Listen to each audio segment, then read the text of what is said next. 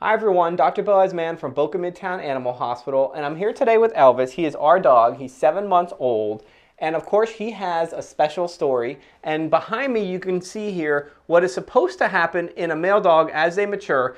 The testicles are supposed to descend into the scrotum, and in Elvis's situation, both of his testicles were missing, and I could not feel either one of them which required us to investigate where they were hiding. The condition is called cryptorchidism, and we're going to be talking about that today.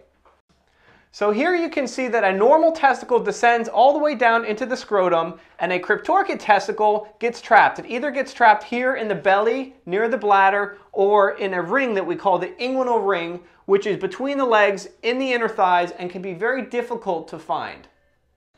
So here you can see, this is an example of a dog who has a retained testicle in the groin, which is what we call inguinal. And here you can see, it makes it look like you make an incision, there's no bleeding, an instrument goes in there and easily pops out that testicle. That is not how this works. You have to go in there and dig deep for this testicle that is hiding underneath all this fat and connective tissue and a blood supply. So keep in mind the testicle is also tiny, so it's looking for a needle in a haystack. And also keep in mind, this is not the only place it could be. If it's in the belly, you have to make an abdominal incision. In Elvis's case, I was able to get a team of experts, an ultrasonographer to help us locate where they are, and also a surgeon to help us remove both of these testicles in the quickest amount of time possible under anesthesia.